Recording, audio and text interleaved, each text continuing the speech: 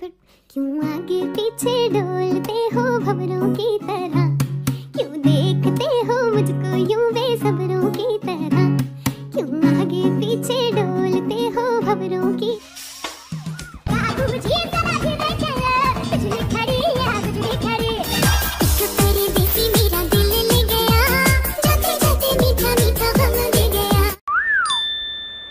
दांतों की सलामती के लिए सबसे बढ़िया उपाय।